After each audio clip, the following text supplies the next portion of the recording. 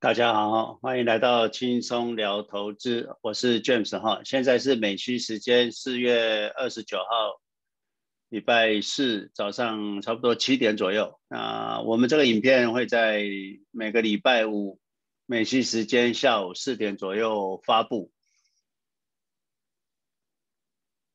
啊，欢迎 YouTube、哔哩哔哩跟 Podcast 的呃听众。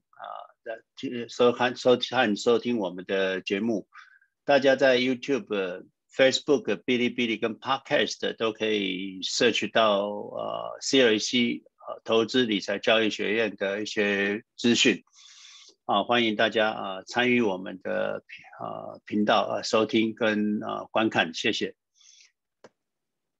啊，我们是一个富有俱乐部了，所以我就是要给大家富有。所以大家新来的朋友，你们看到这个影片，你路过经过，你绝对千万不要错过，这是价值一亿元的讲座。你慢慢停下脚步，看一看我们的影片，这是你一辈子最重要的事。外面很多投资理财的短视频或者是财经节目，其实都是无论对错都没办法帮你。获利了哈，他们只是要有流量，是一种做节目嘛，就收入嘛，需要收入，所以比较像综艺节目了。那内容无论对错都没办法帮你致富了，所以对投资者好处不多哈。我们的节目是扎扎实实的投资经验，而且确定可以让你致富的。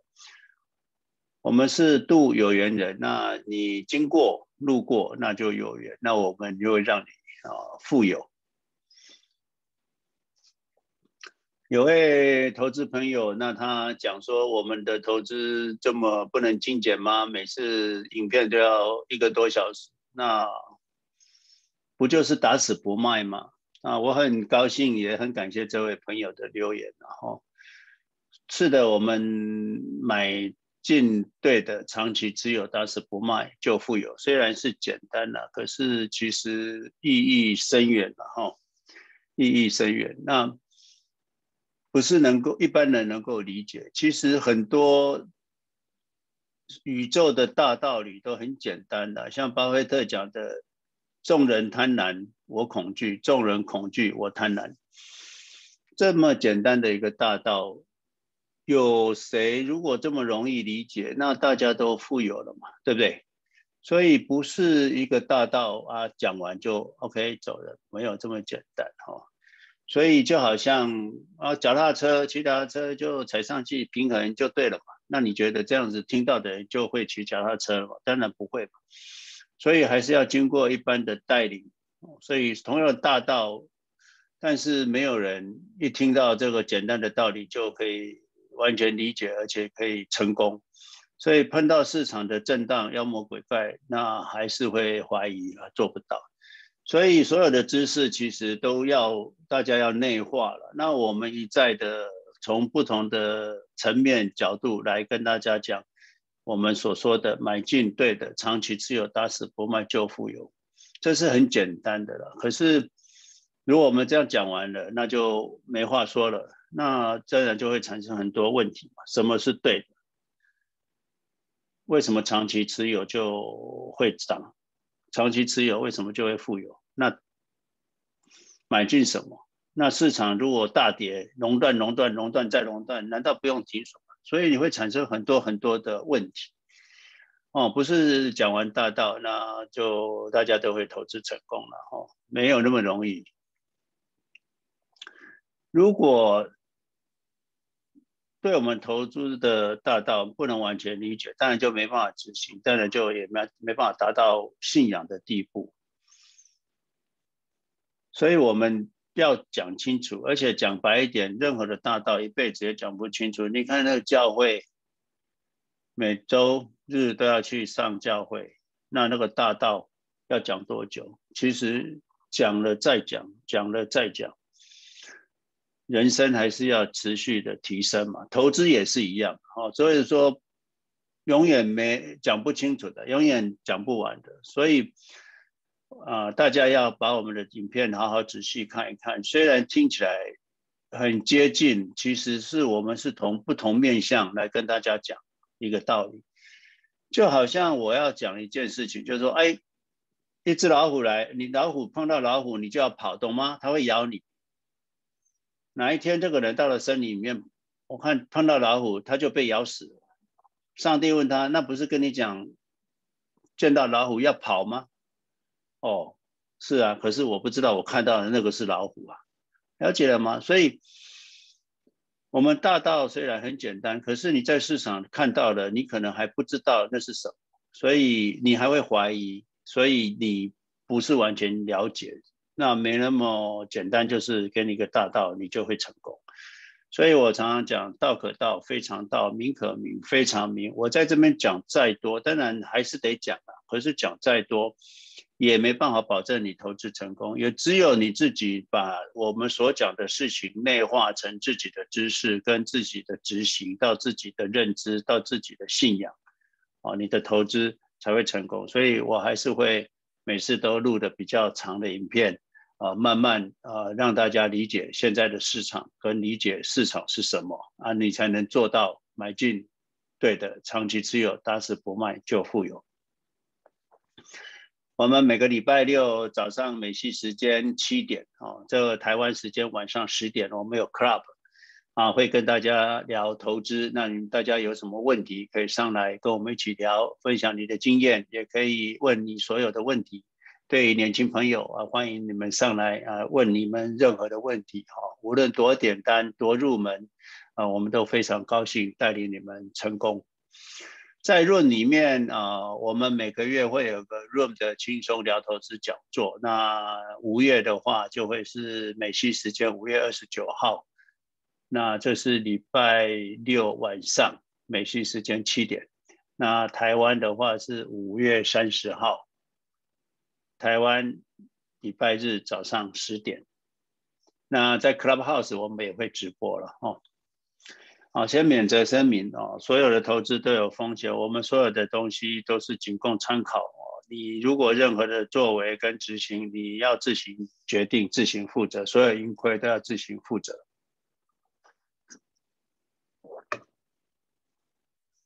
好，我们来看市场了哈，市场永远上涨，只涨不跌哈。那我们来看看这个市场，这是 QQQ 了哈，QQQ，嗯。你们看不到那一边哈，来这样啊，这样就看到，OK，这样子，哦，Q E Q，你看要突破高点了哈，所以这个市场虽然有震荡，哦，你这里下跌很可怕，哦，市场又要来了，又涨了，这个不是只有今天的啊，过去要跌下去就，所以我跟你讲，我早上讲跌下去会涨上去，那涨上去就跌不下来，跌不到这里来了嘛，哦，跌不到这里来了，涨上去跌不下来了，所以。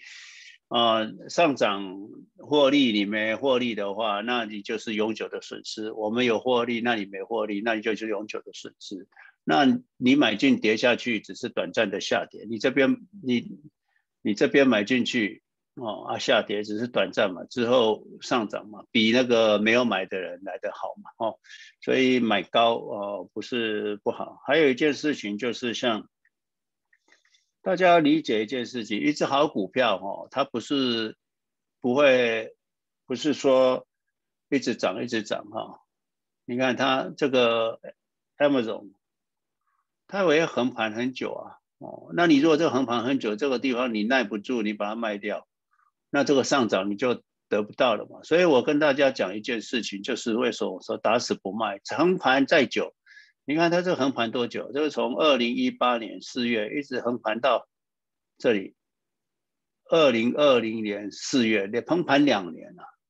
一八一九二零二零年四月横盘两年，那你这两年如果 Amazon 耐不住，那你就得不到这后面这个丰厚的回报嘛。那你现在从二零二零年的这个六月。一直到到到到到到现在已经快也快四月也快六月了也快一年，那你如果没有耐不住，那这样子现在又创新高了，再来嘞就会跑出去了嘛，哦，所以大家理解，啊，这个是，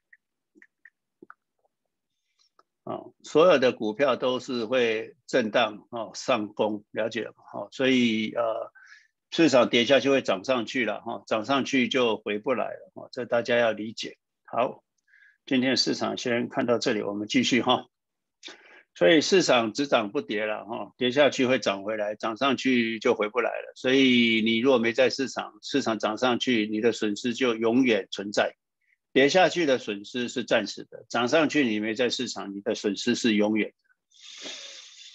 在这里还是警告哈，永远要记得，股票抵押借钱不可以再来买股票，懂吗？你不管你是 pledge 或者是你是 security based loan 哦，都不可以再来买股票。尤其是像台湾的股票质押跟美国的 security base 的 loan，虽然利率比较低，尤其是美国像什么翠什么翠的，那它有给给给你的 security base 的 loan 比较低，那这种都是股票融资了。那你如果市场下跌，你可能就会破产。假设你一百万，那你融资你用了五十万。市场跌一半，你一百万跌跌只剩五十万，你的资产剩五十万，你借向人家借五十万用掉了，那你就破产。那市场可以把你的清盘，那个证券商可以把你的股票强迫卖出。所以这样子的股票质押跟那个 security base 的 loan，虽然利率比较低，可是你最最好只能借用十 percent，最多就十 percent。那我是建议都不要动用，只是拿来做紧急备用金就好了。也就是你一百万去抵押做质押或者是 security base 的 loan，那你你只能动用十万块，那十万块拿来过日子一一年两年，那可能就用光了哈。那可是当你资产增加的时候，当然你额度可以增加，所以你小量的用可以，可是绝对不要大量的用这个股票质押的融资哈，融资来融资跟股票质押 pledge 是不太一样。Pledge 市场下跌不太会被清盘，不容易。他你只要每个月缴利息就好，像你的房房贷，你房子再怎么跌，你只要每个月 mortgage 有在缴就可以了哈。市场不会只涨不跌了哈。我相信未来你一定，我们一定会碰到一个下跌八十 percent 的状况。那下跌八十 percent，你如果融资没控制好，你可能就会破产哈。那一般人，你只要能够度过这个下跌，就像两千年的高点，你买进到现在，你有七 percent 的回报啊，对不对？哦，只要你不卖，就算它跌八成，曾经跌过八成，你只要睡觉去就好了，那你有紧急备用金就够了啊。所以，就算是做 pledge 的人，你动用的资金也不要超过额度的二十五 percent 啊。假设你一百万有七十万，那你最好不要超过二十三万哈，也就是你资产的十七点五万。也就是说，你有一百万的额度，你最好不要动用超过十七点五万的哦金额。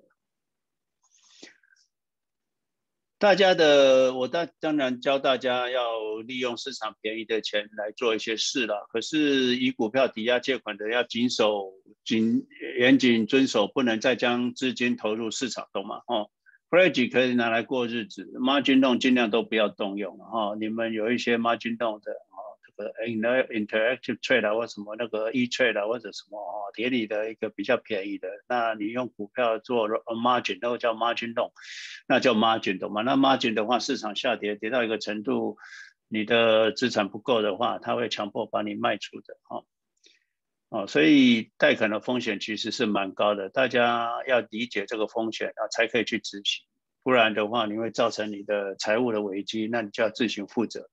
会破产的哈，如果你没控制好。好，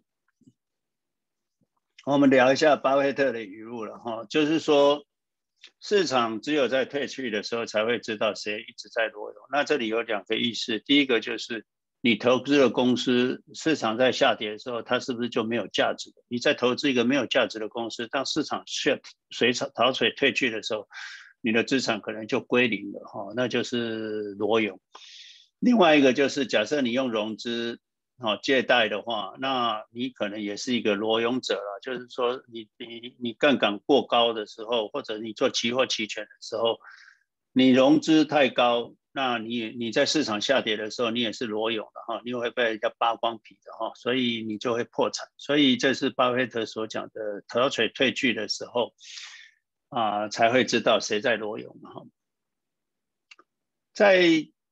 华尔街靠的就是不断的来交易赚钱，然后这个是在华尔街。其实真正赚钱的是华尔街啦，是投资银行啦，是政府啊。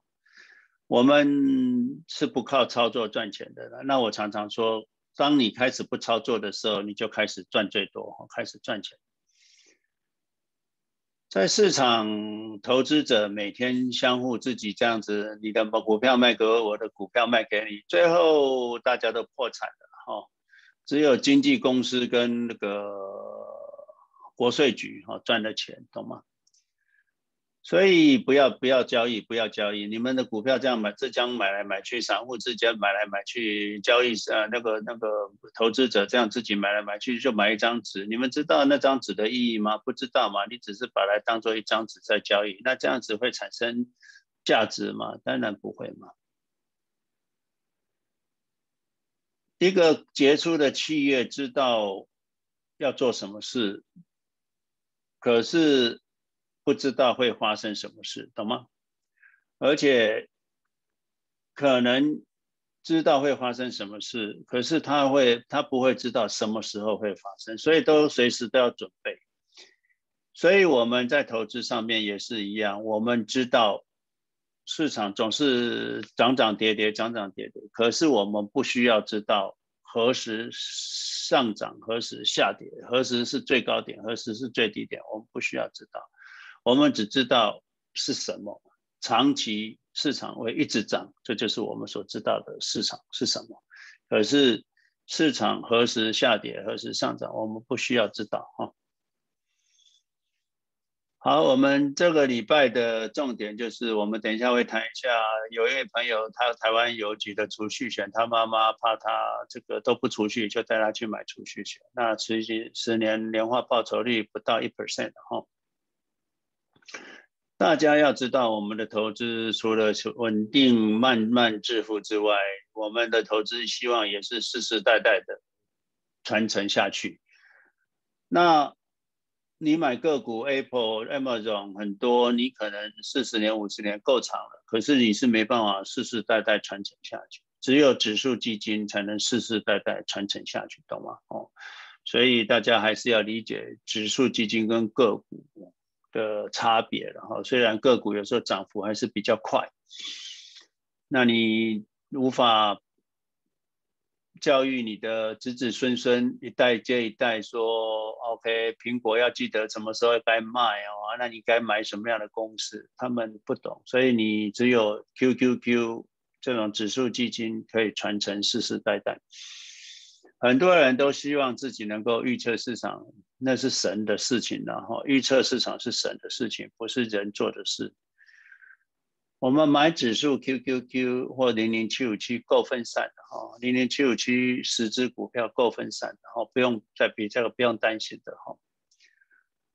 我们的投资的理念其实它什么叫投资？就是以现在的资金换取未来的价值，哦，牺牲现在的消费。啊，享受换取未来的财富，啊，这就是投资。所以投资其实是一种对未来的期望，啊，跟预测，懂吗？我们的道理很简单的，就像巴菲特的道理，其实也很简单，大道至简，景色不同。所以。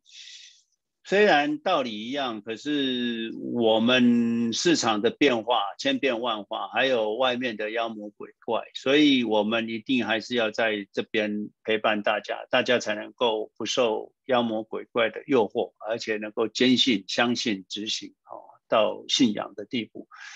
哦，所以市场还是千变万化了，不是你了解大道你就了解市场，因为有时候你看到的市场你就懵了啊，或者是听到一个人讲的话你就懵了，你就做错了啊，或者是去操作了。再好的投资也需要长期才能够获利嘛。那巴菲特讲一个笑话，就是说怀孕也是要十个月才能生出一个小孩嘛，那你总不能是跟一百个人结婚就一天可以生出一个小孩，不会嘛？哈，所以你不要呃持续的操作。你以为这个财富今天呃呃十年哦财富会增长十倍，那你一天操作十次，你就要增长十倍不可能的事情哈。长寿是致富的一个关键。那我讲一个例子，巴菲特之所以为巴菲特，就是他活到九十几岁。今天他如果五六十岁就夭折了，那我想我们应该不认识，不会认识巴菲特了哈。所以投资需要时间，需要时间。那大家把自己的身体健康照顾好，这就是最大的财富。不然你是无法将你的财富如滚雪球，越滚越大。哦，你只能滚二十年，那当然比人家滚六十年的少很多嘛。我知道在市场里面大家都非常害怕保守了，可是我还是持续跟大家讲，你越害怕越保守，那你风险越大。我们已经涨，我们的资产变成六十四亿的时候，你还是一千万，那你觉得你风险大不大？投资不能用杠杆哦。你可以借钱做紧急备用金，还有生活费，可是不可以用杠杆来加大你的投资。所有的理论跟经济学理论跟学术论文都跟投资无关了哈。这个诺贝尔奖得主有多少人一直在喊空空空哈？市场空空空，我看他的头壳才空空空啊！这个是投资哈，不是理经济理论，也不是学术理论。巴菲特说这个。啊，投资不需要太多的聪明才智，懂吗？哦，你只要买进持有，但是不卖，你就富有。很多人会担心美元印那么多怎么办？其实没关系，美元是一种债券，所以你没有持有美元，你就没有持有这个债券。而你持有股票，你是持有公司未来的资产，所以跟美国美元是没有相对关系的了哈。唯一的关系就是美元跌，你股票会涨嘛。哦，本来苹果一只手机卖一千块，现在变成美元跌了，它要卖一千两百块，那股价就从一百块会涨到一百二十块啊！哦，就这么简单。前两天有特斯拉的财报，苹果的财报，我们稍微快速给他看一下哦。那这里有一个人有一个一百万美金的房子了，那他已经付完贷款了，那他说他是不是应该把房子卖了去一将一百万投资在股市？哈，简单的说，应该是理智上应该是这样做了，就是一百万拿去投资，那你去做 pledge，那去做 pledge 的私自值来过日子，那去租房子，这是简单的方式了。那可是每个人都有自己的状况，所以等一下我们会分析一下，那你自己决定哈。世界上的妖魔鬼怪特别多了，尤其是你亲近的人才有可能害到你，懂吗？哦，你你的同学、你的同事，呃，变成保险经纪的；你的同学毕业就变成了理专的，那你的同学毕业就变成保险经纪的，那他就来找你买保险的，那你借基于人情就买，结果十年后你发现你这个是个财务的灾难，哈。你的会计师、你的报税的小姐，就是你的妖魔鬼怪，他在你身边，随时要找你去买一些哦奇奇怪怪的理财商品。那这个就是啊，你你在投资路上很难成功的一个因素，因为你会因为这些人都跟我这么熟，难道会害我吗？两种人，要么就是他不懂，他不是要害你，他不无知；另外一种人，他是懂，可是他就变骗子，懂吗？短线投资到头来就是一场空了哈，所以大家不要做短线操作哈。好，这里有一个就是有一个朋友，他五年前他妈妈怕他年轻人怕他没有储蓄观念，就直接带他去邮局办理十年的储蓄险，每年就缴十万，要缴六年，那缴了六十万，再放四年，也就是十年后可以拿到六十四万，也就是说缴了六十万。最多多出了四万，四万十年后多了四万。那看完了我们影片，他就想说：那我现在如果还还剩一年还没缴，如果我现在 surrounding 就是把四十四万八拿出来去买零零七五七，这样对吗？我跟你讲是对的哈。你现在 IRR 啊不到一，你如果缴完六六年，缴完六十万，那十年后拿六十四万，你的 IRR 不到一了哈。我们来看看这个这个计算哈。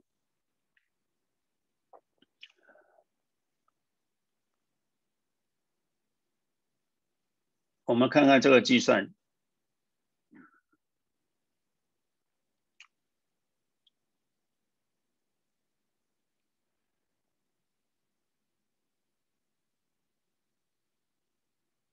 这里你每年缴十万十万，缴了六年，那之后没缴，到最后拿六十四万，你这哎呀就是 IRB two 到 B 十一，哦，IRB two 到 B 十一，那你就是回报率就是零点九九六。可是你如果现在 surrounding，那最后这一年的十万没有缴，那你拿回来四十四十四万八，再像再加上你原本没有缴那十万八，这样就五十四万八。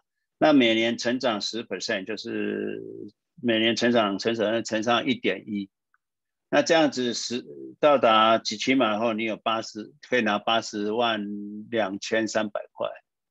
那这样你的 IR 就是六点九左右，所以你现在拿出四十四万，再加上你明年要缴的十万，你把它加进来一起进去投资零零七五七，你之后十年后的长期回报率是六点九了哈。所以啊，我的建议就是赎回那拿去。那另外还有一个例子，就是有一个朋友也是一样，他妈妈叫他去。应该是他妈妈帮他投资，那每年缴了二十五万到邮局去，这个叫做十五年的储蓄险。那是二十五万，二十万缴了六年，呃，缴了五年啊，这里应该是缴了五年，缴了五年，那。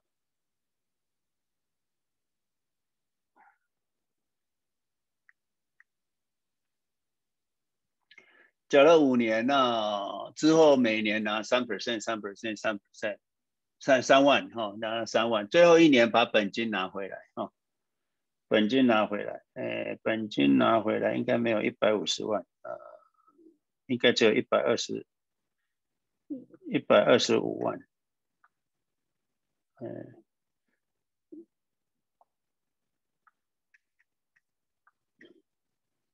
本金拿回来就是一百二十五万，那这个回报率只有一点七八哦，所以，嗯，不要去买这种理财商品的啊！所有理财商品你现在要超过两 percent 是不容易的，那保险也不要买，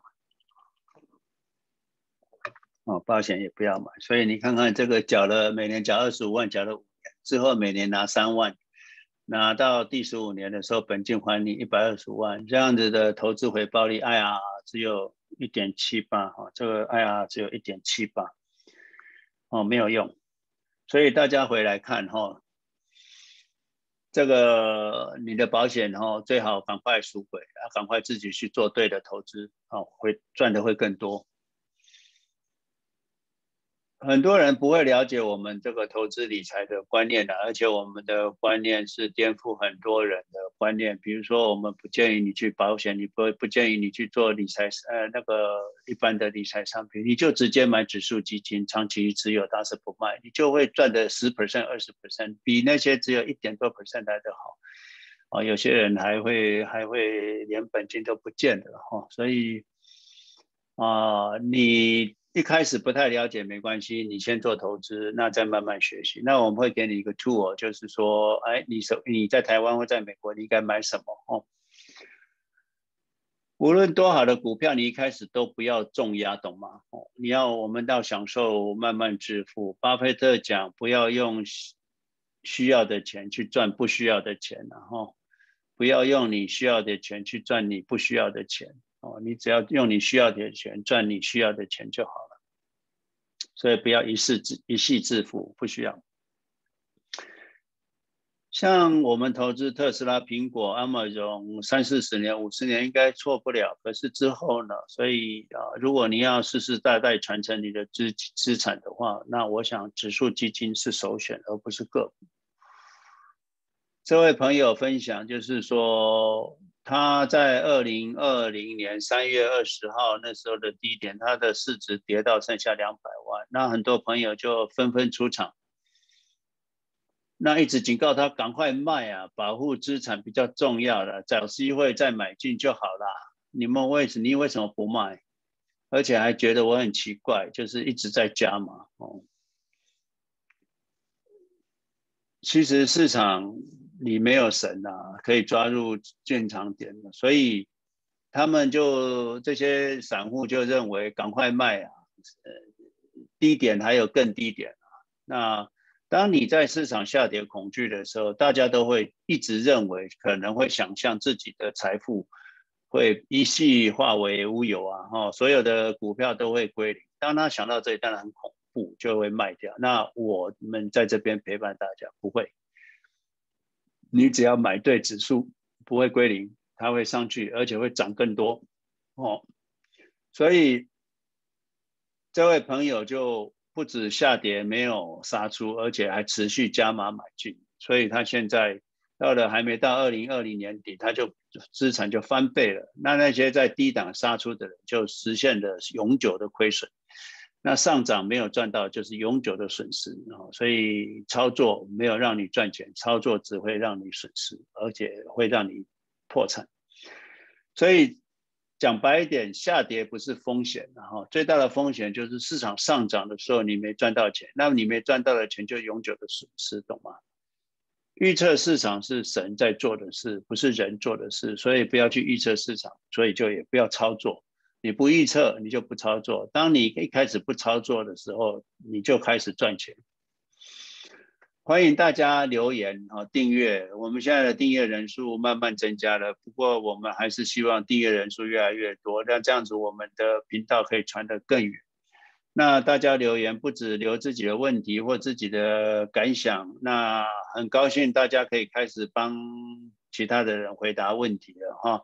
这非常棒，我们是一个非常正向的呃 investment 的 social media 哈，就是我们在这个频道里面是一个社群哈，那大家按赞、分享、转发。当听 podcast 的人，那就希望可以给五颗星了哈。新来的朋友，那欢迎你们啊，请到 YouTube 里面或哔哩哔哩里面去收听我们一亿元的投资讲座。这是在长荣桂冠，台中长荣桂冠的一个讲座。那发布的时间是二零二一年，今年二零二一年一月九号，大家去到 YouTube 去寻找一下，好不好？哦，那把这个影片看完，你才知道我们的投资哲学。虽然影片还蛮长的，其实还分上下两集，总共四个小时。我在那个时候讲了，是连续讲了四个小时的讲座。内容很长，不过我跟大家讲，大道虽然至简然后，可是要理解还是要需要时间的讲解。QQQ 已经持有 QQQ 持有一百档大公司的，跟纳斯达克 Index 比起来，纳斯达克是整个市场，就是在纳斯达克上市的几千几千家的几万家的公司，可是 QQQ 这个指数就是选纳斯达克前一百家市值最大的公司。所以零零七五七只选十家，那当然绩效应该会比 QQQ 来的好哈。所以类似巴菲特不建议大家太分散投资是一样的。那其实你集中十档股票，要挑到好股票不难不难哦，重点是保抱住就好啊。这个我每周都要跟大家 remind 了哈，这个是美国市场，那我们不。提倡买 SPY，可是我们用这个 SPY 的图，就是 SP 五百的图，是因为它持续的年限比较长嘛，哈，它是可以从一九四一年开始，一九三几年就可以追踪。那 QQQ 没那么长，所以我们是用这个 SPY SP 五百当例子。那 QQQ 的回报率会比这个高了，哈，所以从一九四一年到二零二一年的四月十六号，四千一百七十八点。SPY 涨了四百五十四倍，然后那年化报酬率八 percent，加上两 percent 的股利就十 percent，这就是为什么我们说美国的市场长期投资回报率将近十 percent。那你现在高科技的不明的话，那回报率应该会比这个稍微高一点。如果你每年回报十 percent，你四十年就会有四十五倍。一个年轻人来讲，投资二十万美金就会退休就有一百万美金的哈。那你如果投资二十万美金，就相当于台币六千块。你每个月投资六千块，你退休就有三千万。当然，如果有钱的人每个月投资两百两千美金。哦，那退休就有一千万美金了哈。那你到了六十岁有一千万美金，再到七十岁、八十岁，我看你有上亿了了哈。所以富有真的不难。那这就还是用十 percent 回报率。如果用十五 percent 回报率来算，那你投资两千美金，你可能就会有上亿台、上亿美金的资产。你投资两百美金，你可能有上千万美金的资产哈。那对台湾人来说，六千块就可以上亿台币。我们每一集的内容听起来相似，其实还是真的不一样。然后大道相同，风景不同啊。每次的市场状况都不一样，春夏秋冬的黄山也是不一样，远近不同。所以啊，我们还是会从不同的角度来跟你解释这个市场。就好像我们会跟你讲老虎很可怕，可是我不会只讲这样子哈。我会跟你讲，所有把老虎的前后左右画给你看。当你看到老虎，你会认识它，那才叫做真的懂，而不是只说老虎很可怕，看到它就要跑，那这样子是没办法活命的。同样的事要从不同的角度才会完整。然后市场千变万化，你看到一面，那碰到另外一面你就懵了。哦，所以我们要让你完全理解市场，而不是只是丢一句话让你去死。哦，不会。所以我们在市场为背景，以大道为核心，讲述这个市场的大道。可是市面上那些财经节目就是丢一句话让你去死嘛，你照那个话话去做，因为那个话不是春夏秋冬长期适用嘛。那你你这个春天的衣服到了冬天你就会冻死嘛，对不对？哦，你冬天的衣服到了夏天你就会热死。所以市场的财经节目给你丢一句话，你就信以为真去执行，你哪一年就热死了或者冷死了啊，准死无疑了哈。这里有一个 Jimmy 的分享，他十八年了，那投资台湾面板五虎十八年不赚不赔了，不过到了现在终于开始赚钱了。这应验一句话，长期持有。当然一开始这面板五虎是不是有买错，谁也不知道，那时候还很夯，对不对？那终于是八年的，还是赚钱的。所以我跟大家讲，个股再怎么重压好，你也重压五 percent 就好了。那虽然是八年熬了十八年，终于赚钱了，其实也蛮难熬的啦。不过也是证实长期持有才能赚钱。那你如果去看这个，呃。Google 里面最近有一个大妈，她买了五万块美人民币的一个股票，结果忘记了。那现在去看，就涨了一百倍哦。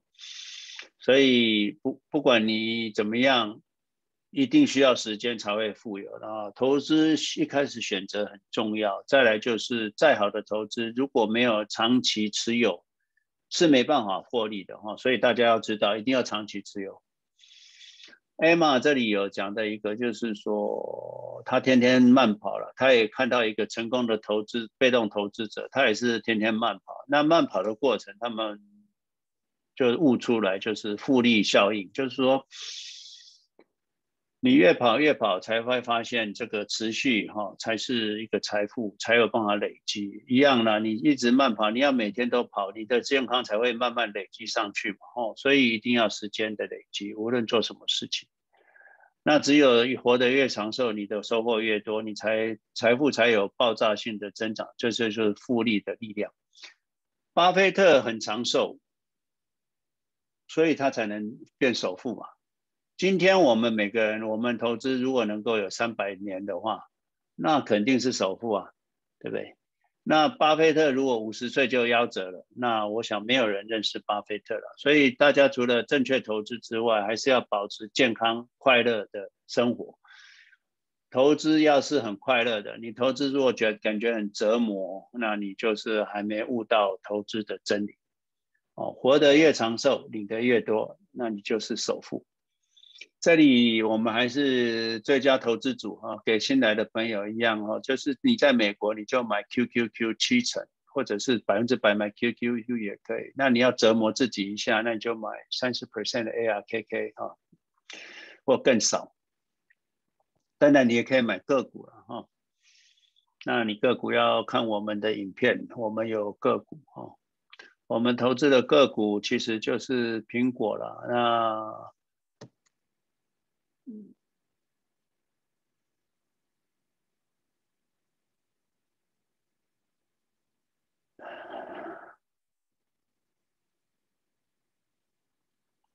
我们投资的个股这里就是有 QQQ 嘛，再来就特斯拉、SQ、PayPal、Amazon、Apple、Zoom、GBTC 哦，那有 ARKK，我想就到这里哦，这是给大家一个参考。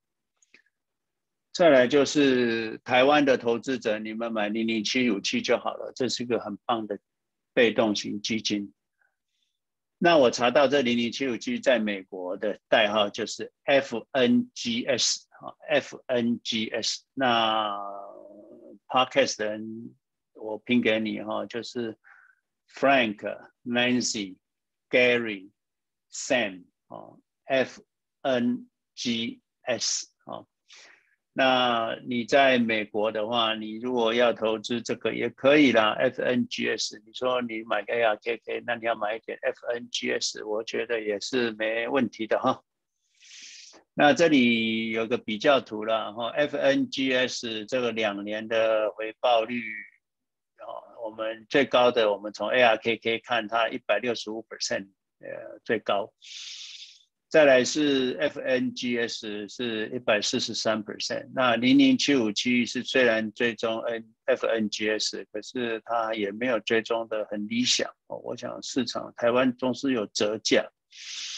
再来就是 QQQ 六十七 percent 哦，那 FNG FNGS 就是一百二十五 percent 的道理。那你买 QSBY 的，我就是说不要买嘛。你看两年你才三十三 percent，人家六十七 percent，QQQ 就比财富多你一倍。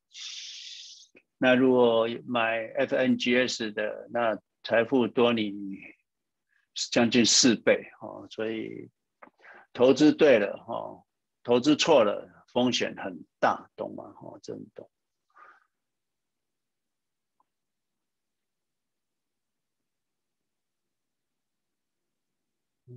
为什么真没东西了？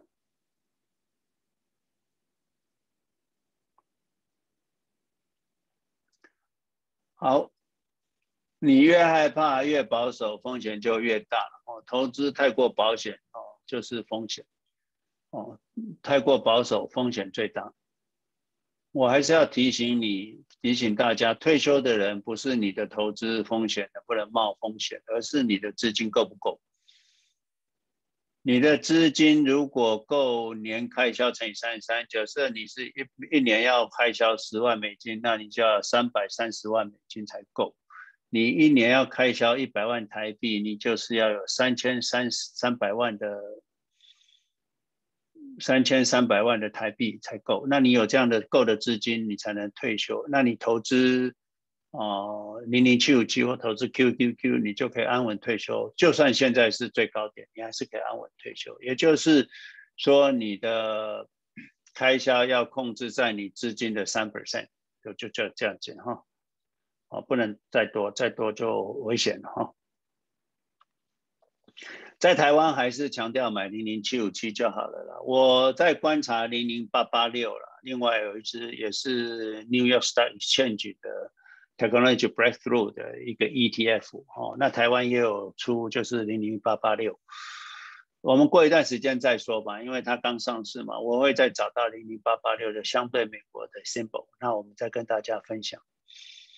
建议台湾投资者还是买零零七五七，这是境内基金，所以你就没有台湾最低税负制的问题。可是你付委托跟买一般基金，你最后都会碰到最低税负制的问题。你赚越多，你最后卖掉你的卖掉的时候实现的资本利得，你可能就会需要缴税哈。这是台湾四大基金的代码，供大家参考哦。那你避免你买错哈。在中国的你要投资美国，当然没有像 QQQ 这种原汁原味的了。那你透过你的基金买五一三一零零，虽然绩效没有像 QQQ 那么好，可是也打败了所有应该美中国的大部分的基金绩效了。那你一样可以长期富有。我们所有的投资。讲白一点，就是在决定你对未来眼光的判断，哈。所以，我们当然不能全然认为我们的判断完全是正确。所以，也就是说，有些机会我们不一定会看到，而且有些我们看到的也不见得是正确。所以，大家要知道，个股不要重压，所以我们只建议大家，大部分的资资资产都是买指数基金。大家认清楚，不是每个资产你都一定要参与，不懂的你就不要投资了哈。那买指数可以安稳的睡觉、唱歌、睡觉啊，快乐投资者，这才是正确的投资方式。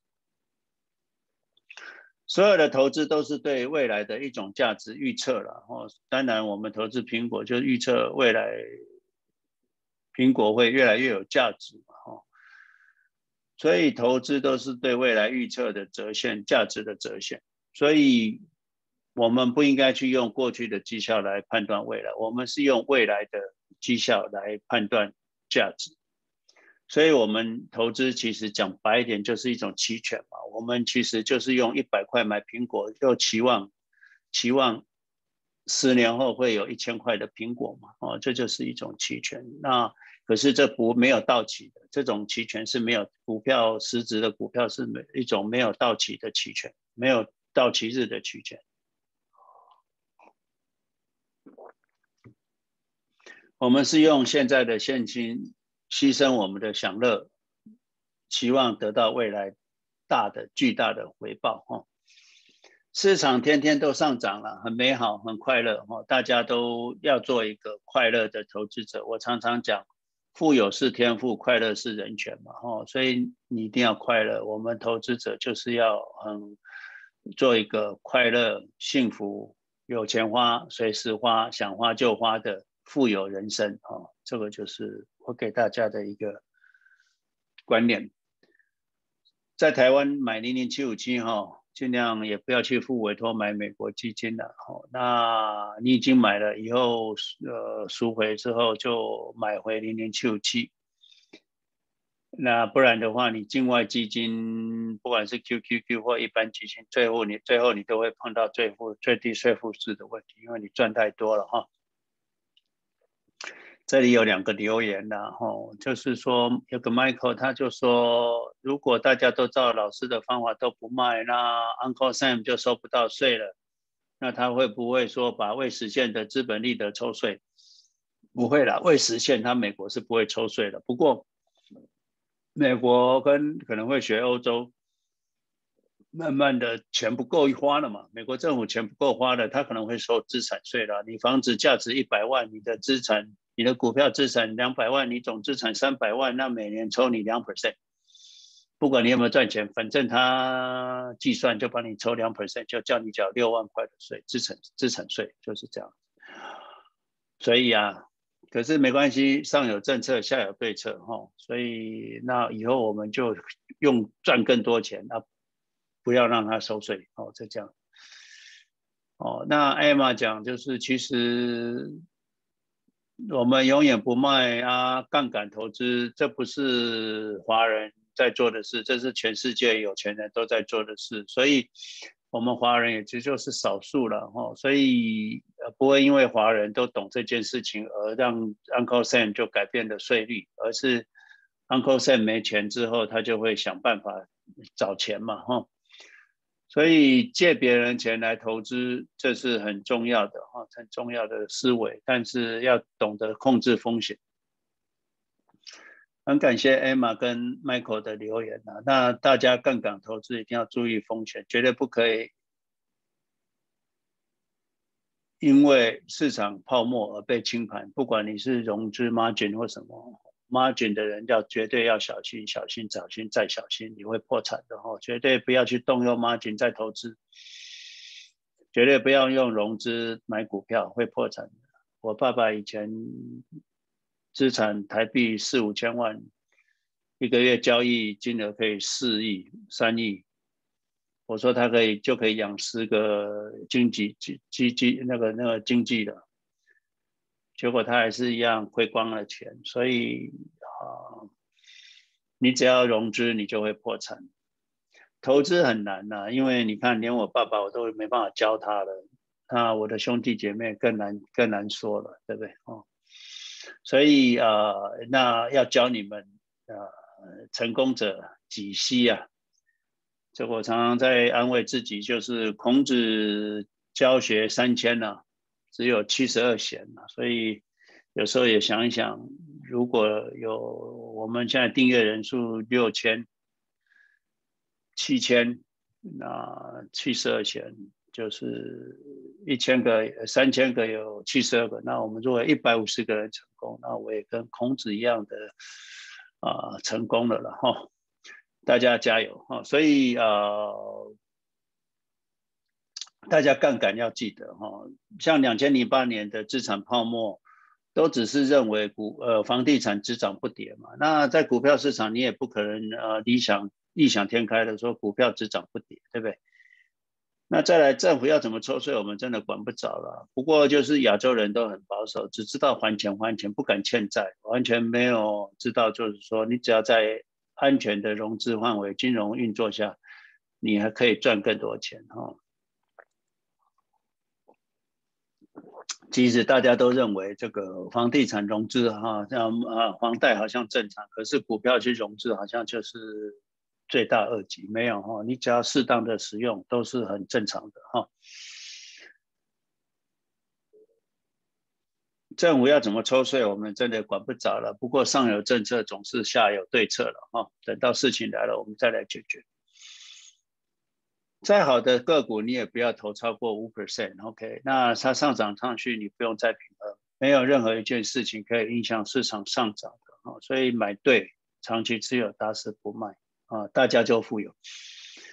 我还是建议大家去用 HELOC 来投资的，而不是做 refinance 啊。refinance 的话，有个不好就是你本利和本金跟利息都要还嘛。那你 refinance 几年之后，你本金都还掉快一半。那你的杠杆就减少了嘛？那虽然你去 HELOC 做就五十万美金，那它可能十年或二十年，我想十年的话利率比较低，二十年利率就比较高。那到了十年要你还本的时候，你就从那个呃 pledge 那边去五十万去还掉，重新再贷一次，借出六十万或八十万出来嘛，哈。呃，所以这样子，那你如果说 refinance 的话，可能经过十年之后，你已经缴掉了三十万，或者本金二十万，那你的杠杆力量就减少了嘛？除非你到那个时候又再做一次 refinance，OK？如果已经退休没有上班的人，你买房子没办法贷款，那你就用 bridge 会比较划算。假设你有呃。三百万，那你 pledge 就是有两百一十万，那你买个一百五十万房子 c h a r s 会直接把一百五十万汇到你的 escrow 那个 account，直接用现金帮你付掉，那你只要付利息给 c h a r s 呃两 percent 以内就好了嘛，哈，会比你融资会比你房贷还便宜哈，所以用 pledge 的话，退休者可以用全额贷款好买房。哦，全额贷款买房，对没有退休的人，还是就有升薪资的人，还是去做 finance 啊，就是呃呃贷款哈，贷款。所以你如果有一百四十万的，你有两百万资产，有一百四十万额度的，那你最好就最多买一百万的房子，不要买到满哦，不然市场一跌，你可能就蛮辛苦的。所以一般贷款。要首付，比如说你买房子，一般贷款要首付，先一百万的房子要先付二十万嘛，那那个二十万就浪费了。那你如果能够一百万都是借来的，不是很好吗？我们的频道，你如果介绍给朋友，其实大家就会反应都是很冷淡的哦，因为我们的投资就像很多人讲，我们的投资讲的好像就是呃天方夜谭哈。不容易相信，简单到很难以置信哦。所以只有你们很有慧根的，才能够跟随着我们。那听我们的影片没有感觉的，慢慢来，然后久了你就会听懂了哈。这里有个 Francis，很高兴的，呃，是感谢他的留言那。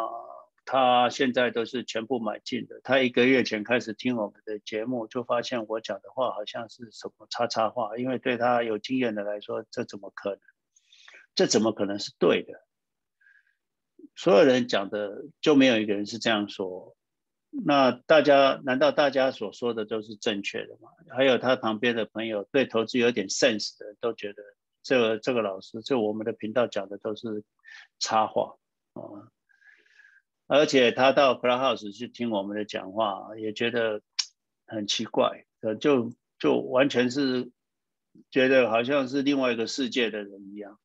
后来他听久了，看懂了，哦，真的是我们讲的这些，其实是无懈可击的真理了，哈。对于他来说，没错，股市现在历史蛮高的，都是在创新高嘛。那我讲过，股市永远在创新高嘛。如果不是一直创新高，你投资它干什么？那你在创新高，你还是等等等，你等多久？已经涨过，涨了多少次了？你还在等？所以我说，很多等待的人都还在月台，我们都已经去玩一趟了，他还在月台。我们都已经到了呃火星了，他还在地球。所以你没办法有任何迹象知道说市场要崩盘哦，也轮不到你知道。如果大家都知道，那就不会崩盘了。你要知道哦，所以不要再围绕这种没有答案的问题。大家要记得，利利率再低哦，你都不能 margin 股票 margin 去再投投资哦。pledge 和融资是不一样的哈。你们在一般的券商做一些 security based loan 哦，那是 margin，那跟 pledge 不一样。pledge 市场下跌你不会被追缴的，那 margin 你的股票会被砍出去哦，这是不一样的哈。哦，哦所以要记得。这个 Tony Fan 跟我们分享一个，就是说，呃，外面很多的投资流派哦，都是精准的错误了哦。那只有看我们的影片，才能放下很多执着。那那些外面的财经节目都前后相互矛盾了，搞得大家紧紧紧张兮兮的了。也不是诺贝尔得奖主就比较厉害，诺贝尔得奖主发出崩盘的讯号，已经每年都有。那有崩盘吗？没有嘛，哈，所以不要把认为呃这些饱读诗书的人当做是投资天才。如果他是投资天才的话，那就不会是巴菲特首富，而没看到一个经济学家跟诺贝尔得奖主是首富嘛。哦，所以呃，投资跟经济无关，跟学院派无关，它不是一个知识，它是一个尝试，懂吗？哈，所有我们投资的一个尝试，就是我们买进一个好公司，这个公司跟着公司成长。假设台湾有一个牛肉面店，那你叫一个诺贝尔得奖主来来评估这个面店，他怎么评估？他会跟你讲一堆。现在的殖利率多少？哦，现在的失业率多少？哦，现在的年金平均所得多少？哦，现在 pandemic 很危险。哦，现在很多飞机不能飞。现在的耐久材订单，结果跟你讲，这家牛肉面店怎么样？怎么样？怎么样？你觉得对吗？很简单嘛，你要投资这家牛肉面店，进去吃吃看就对啦。还讲那么多干什么？所以你要知道，投资不是这些诺贝尔得奖主或经济学家可以说三道四的，懂吗？他们讲的都没有用，不要理会他们。那当然，那些财经分析师跟财经台，那更不用说了哈，离什么都很远了哈。大家记得，Long Term Capital 破产。里面有两三个诺贝尔得奖主和十几位在市场德高望重的金融天才，连巴菲特都很尊敬他们。巴菲特说他们真的是聪明，比我跟芒德都聪明。可是呢，结果呢？结果呢？破产。所以记得不要太相信这些饱读诗书的人来跟你谈投资。那那些财经节目的那些人，那你更不用相信他们。懂吗？有些 HELOC 可以借十年，有时二十年。我想十年的可能利息低了，二十年利息可能高。啊，你要去 local 的银行找一找。一般听说 local 的银行，什么 Union 啊，哦，Bank Union 啊，会比较便宜，利息会比较低。那你 HELOC 借出来之后，你放到投资 Trust 去，可以去做 Pledge。那等到有赚了钱，十年、二十年之后到期了，你的 HELOC 到期了，要本金要还，你是从 Pledge 的钱拿去还掉，再重新贷款出来，懂吗？啊，再去还那个 Pledge，哦，这样就会。大家不要做期货期权的，也不要做杠杆基金 TQQQ 都不要哈，这个不是可以长期持有的，那你的资产会破产的哈，四十年只要跌一次你就破产。啊，这位朋友，我想他我认识他一段时间了哈，那他很积极，就是他不只知道我们的影片，他还跟我联络啊，加了呃。那那有些是的问题，那他也把保险赎回了，也把房地产抵押了，那他其实是做对了哈。他这里留就是纸上谈兵了哈，没有用哦，纸上谈兵没有用，是这这这这个这个叫做精确的错误哦，统计实物理论倒背如流也不会成功哦，没有耐心享受不到。复利的力量。那我们是经过过去三十年，不管正确错误，我们都给他检讨过了。那融会贯通之后，给你们一个很简单的投资大道，就是买对长期持有，打死不卖就富有。可是这样子的大道，对一般人来说，有时候下士闻道。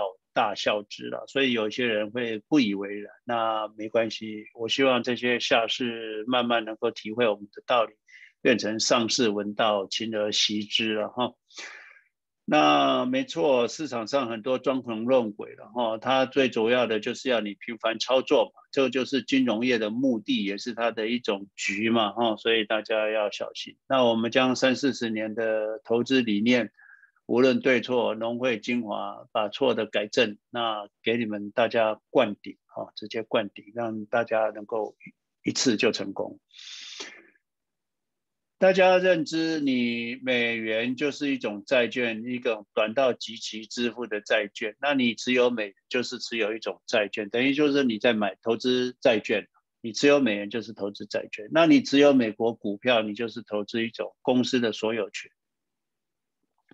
所以你持有债券跟持有公司所有股票是两回事了。我们持有股票就是在想，啊，这个公司未来的价值嘛。那你持有美元，你只有越来越贬值，因为美国政府就啪啪啪啪啪，那个那个印刷机一直印，你你拿一个乐色干嘛？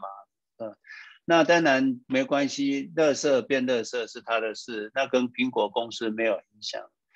美金跌，从美金跌哦，美金跌，那 iPhone 就从一千块可以卖到一千五百块，那股价就从一百块涨到一百五十块。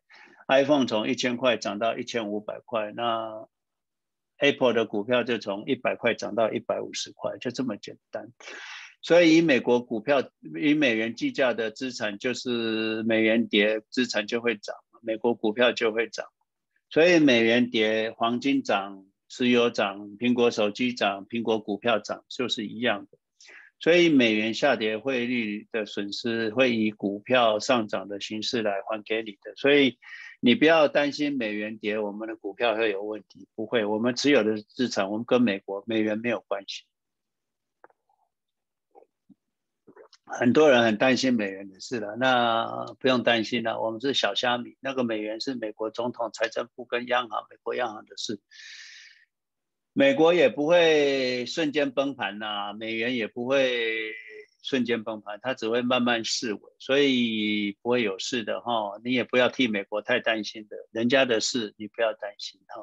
美国常常说 "It's our currency, but it's your problem" 啊，就是我们的钱，可是是你的问题。那我们要知道，我们不要持有这种，就美元就不会有问题？你了解的意思吗？那那个问题就留给美国总统、财政部跟那个。你要知道，慢慢的，好像越来越多人不想买美国的债券了。最近拍卖就有点问题了哈，买买买气不旺了哈，所以美国会遭遇他的债券没人买的状况哈。大家不要将未来。不见得会发生的事，把它揽来自己以为自己的事哦，不要把别人的事揽来自己烦恼，也不要把未来的事还不一定发生就开始烦恼，啊，这不不要。我们的义工跟我自己都在市场赚很多钱了，所以我们不需要大家的钱，我们只是要教大家我我们是如何赚钱的。那也希望大家一样跟我们一样赚钱，过好的生活哦，快乐过日子。不要像网络上或 Clubhouse 里面刀光剑影的，我看他们的日子应该是不好过了。有没有赚到钱？应该是没有了哈。吸引力法则哈，大家要知道，你一定要从潜意识训练起。你要想，我是住豪宅、做五住住住豪宅、坐头等舱、住五星级饭店，哦，有钱花，随时花，想花就花，哦，过快幸福快乐的富足生活。当你有这样子的想法的时候，你的脑袋就开始计算，就会相信我们的投资，你就会找到致富的钥匙，那你就开始行动，那就是致富的方式，懂吗？好，我们来看一下特斯拉的财报，Y O Y 哈，Y O Y 成长，嗯，这里没有成长哦。从一百呃十点三九成长到五呃五呃五点九九成长到十点三九，差不多一百 percent 了哈，算作成长一百 percent。Earning 从二十三成长九十，成长到九十三，Earning 差不多成长四倍了哈。那有人说这个灌水，然后这个里面有比特币，那就把它去掉哦。那九十给它去掉三好了，那六。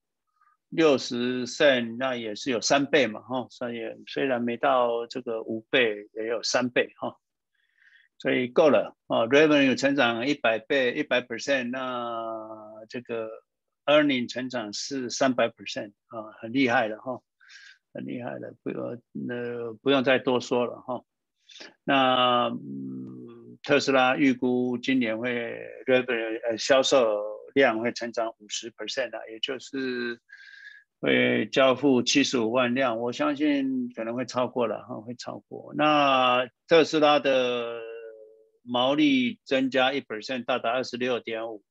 虽然他们一直在卖低价的车子，可是哦，他们的呃控制成本很好，所以可以增加它的毛利，这是很棒的一家公司哈。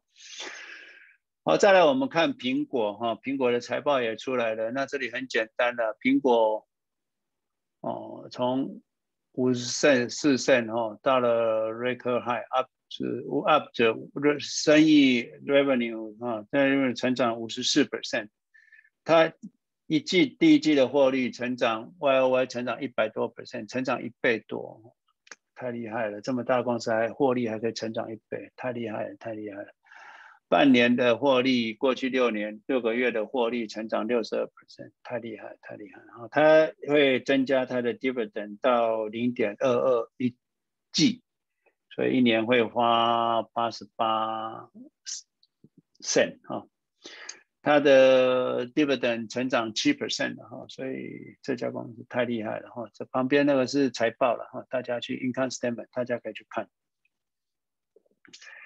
对于年轻人来说，你们要提拨 Roth，然后 Roth 四零 K 或 Roth IRA，那你看看你自己的呃 Selecting List 可以选择的项目，如果绩效不是太好的话，那我建议你们去投资外面的 Roth IRA 就好了。那可以买 QQQ，那其他的就放在你们的 Investment Account，那以后可以做 Pledge，会比放在绩效不好的。Roth 401k 啊来的好了哈，那你们对于你们 Roth 401k 的选择不了解不懂，那你可以拿来给我，我帮你看哦，email 哦，你可以在我们的影片，你可以找到我的 email，你如果不知道我的 email，你留言我，我把我的 email 给你哈，好。长期来说，市场回报率就是十 percent 了。那我们现在看看，如果你拥有一百万房子，而且房贷都已经付完了，那你自己住自己的房子，假设这个房租是三千五百块，那一年你就有省了四点二万的房租嘛。那我如果说房屋税是一点四万美金的话，那你四点二万扣掉流出去的一点四万，那你就是有省了二点八万。那等于你自自己的房子房租的好处就有二点八 percent。再考虑房子是可以增值的。那你如果住在最好的房区域，像我们古巴蒂诺，长期年化报酬率房子也就只有七 percent。这样的报酬率加起来就九点八，也接近死了哈。那但是自住房有个问题，就是流动性差了，股票资产流动性好啊，所以可以做 pledge。当然，你有自己的房子，你可以做 HELOC，那再去做投到股票市场去，那再做 pledge 也是可以。以上就是只跟简单给大家参考哈。那如果你你自己决定哈，那如果我的话，我是会把它卖掉。你要假设你只有一百万，你真的是把它卖掉去租房子，那你的用现金流会比较好一点。你遇到了问题才不会没有钱，懂吗？投资路上豺狼虎豹很多哈，尤其是你的亲身边的人，你的。同同学什么招招揽保险，你就或者是你的理财顾问，或者是你的保险经纪朋友，或者是你交了很久的朋友，那他突然转行变保险经纪啊，来拉你拉拉保险，你这财务就会遭受一个重大的灾难。很多当然保险都是因为情面上啊不好意思啦就买了，结果就是一个灾难。那有些台湾的到了柜台要结了定存或者有一笔钱，结果也被拉去买保险哈。那你看看我们一开始的保险只有一点多 percent，这样子会富有吗？哦，只会越存越穷啊哈。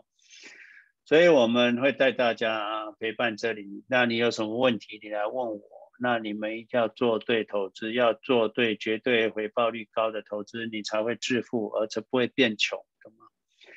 确定大家投资路上都是安全、稳定、富有，懂吗？哦，这个财富不是只有资本家，不是只有欧美人士可以赚的。资本主义是很公公平、公正、公开的，你只要愿意拿，随时都可以致富。OK，这位有位朋友了，他就说他认识的十几年的朋友，那他帮他，他帮他报税了。那结果就赶快，现在年纪大，他就说啊，你有 MD 啊，来参加我们什么一个什么的 E 开头的什么啊 Light 的什么什么这个三样 bonus 有二十二 percent 啊，那你现在赶快 all over 两万块啊，不不不，还好这位朋友就有听我们的话，他就不理他了。哦，那你要知道，当听二十二 percent 三样 bonus 多么吸引人的时候，你就要想想看，如果当你觉得好到不太真实的时候，那我觉得这就比较像骗子哈。世界上妖魔鬼怪特多了，尤其你身边的人，你以为常常有人说他是我二十几年的同学了，会骗我吗？难讲了哈。所以啊，有时候他是无知，所以他也不是真的要骗你。那如果他是真的知道而还这样骗你，那他就是一个骗子。那不管你们交赢多好哦，没有用哦，没有用。这里有一个人给我一个留言，他就说，二零二零年的 TurboTax 已经开始问这个呃 cryptocurrency 了。你有没有在其他的平台二零二零年有交易 cryptocurrency 哈？那我们买 GBTC 啦，所以也就没有所谓 cryptocurrency。呃，报税的问题，那你们 GBTC 你如果没有卖，就没有报税问题；你如果有卖，它就会显示在我们报税表一零九九表里面就显示盈亏，那你就去报税就好了。还是一样，大家不要买保险，然后你要买就买 Turn Life，那。比如说，美国三四百块一年可以保一百万美金的，或者台湾一万一万多块钱，那一缴一年，那可以保三千万美金、三千万台币的，那这样保险可能可以买。其他的投资型保单呐，什么指数型投资保单呐，这个投资理财保单呐，什么什么，啊，不要了啊，那个回报率都很低很低很低哈。这位朋友 Francis 讲，就是说他以前有一个朋友给他我们的频道，那他就发现他短线投资到头来一场空了，而且又最大的损失就是青春跟时间。我想他应该是在市场上蛮长一段时间的，那也生活也没有品质，人际关系也受影响，这真是不太划算的哈。那还好，他都懂得风险控管，也就没有什么受伤。不过。其他朋友下场凄凉的倒是很多，所以短期操作破产的其实是蛮多的。他开始听我的影片的时候就很难去接受了，要相信我们，那就要否定他的过去嘛。什么技术分析、基本说一大堆的，好像看起来很有用的东西，就是精确的错误，他就要完全否定他自己。那他认为大家都努力错方向，没错哈，努力错方向。他也进到我们 Clubhouse 来听我们的分享，结果很多人问说：“老师，现在我有钱，我要分怎么买？现在高点可以买吗？”那我的回答就是：明天、隔天立即买进市价，买进全部。他一听了一开始也是很傻眼，然后后来慢慢，他一开始以为他听错了，后来才发现我们所说的是真的哈。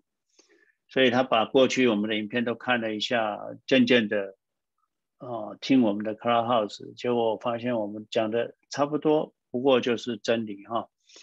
他有对我们的影片特别感动的，就是说我们有讲过，我们虽然逃了两次的泡沫，可是因为这两次泡沫，我们其实做错了不下二十次，那个损失比逃避两次泡沫所省下的多是还多，所以。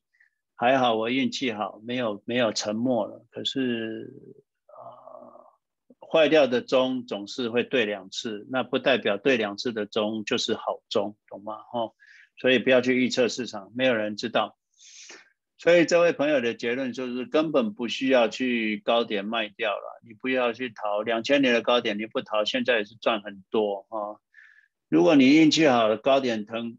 逃顶成功了，那你也不能可能在低点你买的进来哈。所以如果很不幸的，我只能讲不幸的，不是说好运。你很不幸的，你逃顶成功，你逃顶成功看起来是好运，其实是不幸的开始。哦，就是说这个，嗯，福呃祸兮呃祸兮福之所福哈，这个福兮祸之所依啊哈。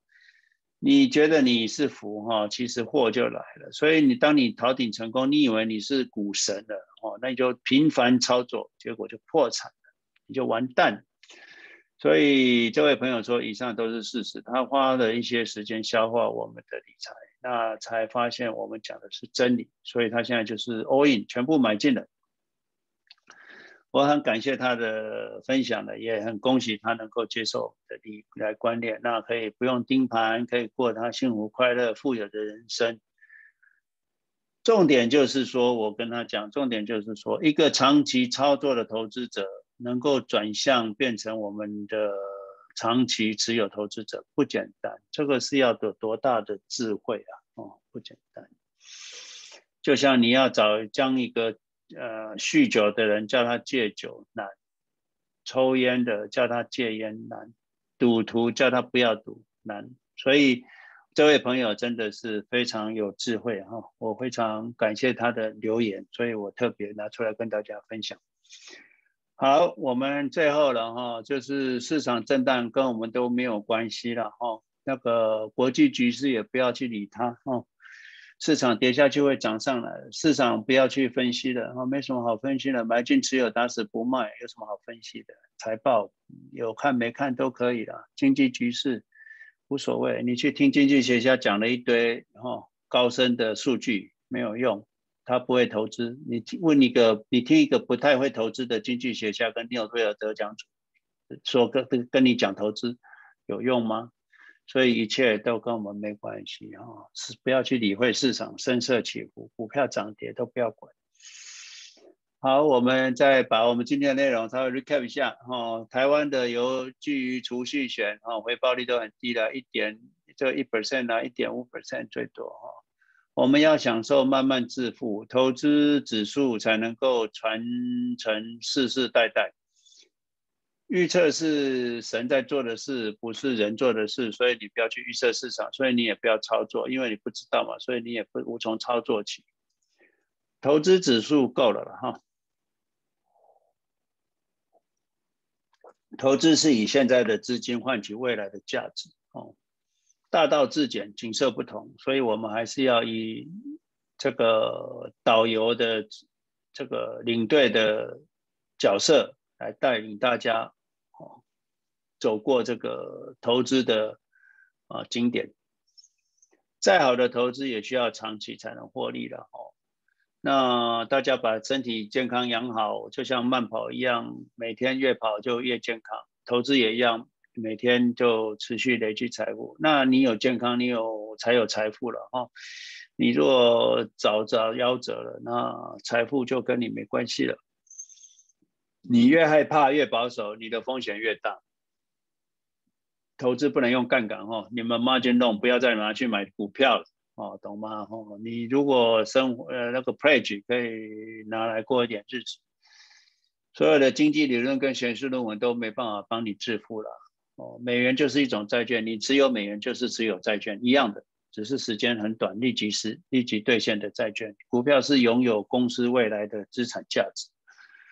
我们看的特斯拉跟 Apple 的财报都相当的好了，那你不要因为财报好，发现市场还怎么会跌？我也不知道。不过就是说也没什么涨，不过没关系，早晚要恢呃恢复它的，给它公道的哈。一百万的房子自无无贷款的自住房是应该卖掉还是要继续住？那我的结论，如果我要结，要如果我本人的话，我是会卖掉去去去投资的。尤其你除了这一个房子没有其他资金的时候，你更要这样做哈。世界上的妖魔鬼怪特多，还是就是说这些都是你身边的，要特别注意，不要因为人情而去买买一些错误的理财商品，那你的财务财务就会一个灾难哦，长期会是一个灾难。短线投资者最后到头来就白忙一场，一场空了哈，没有用。好，那我们的今天的轻松聊投资可能就已经聊到这里了哈。啊，那祝大家身体健康，那保持心情愉快，做一个快乐富有的投资者。好，谢谢。